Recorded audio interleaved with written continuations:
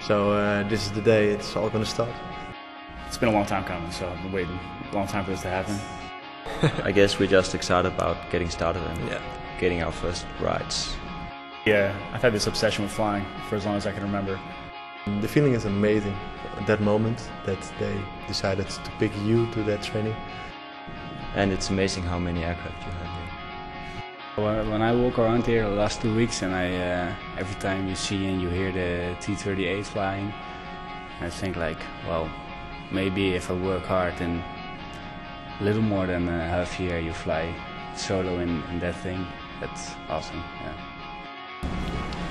Will be hard, but I think we'll enjoy it because we are from different nations. We can share our cultures and, and do what we want to do. That is fly planes. Uh,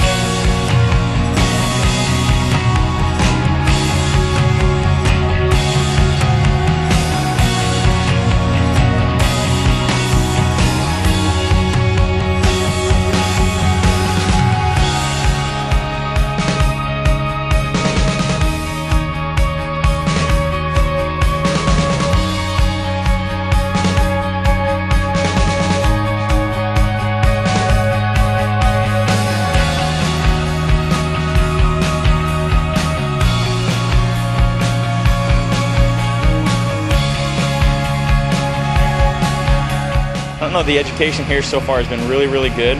We've got a test coming up tomorrow, and it's a booklet about that big already of just material that we've only done in a week.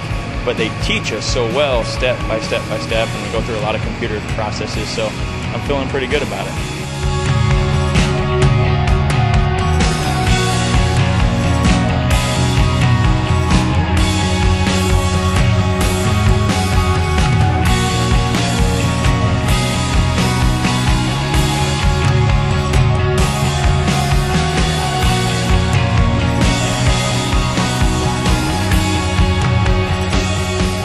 For me, either is the first uh, time here in USA, but I think it's a great opportunity to know another cultural mindset and also to enjoy the life here in USA.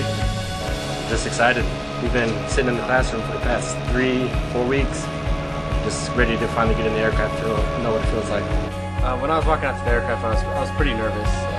I've only been out to the aircraft once before then, and I knew I had to do all that outside exterior checks.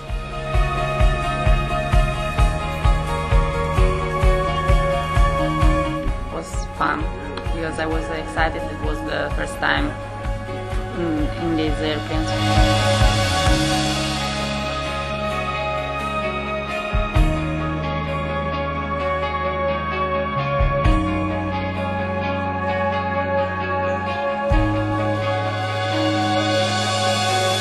Fido answers the phone. He uh, helps making coffee. Help uh, helps the IPs with all the stuff they need to be uh, need help with, and they don't have time to do.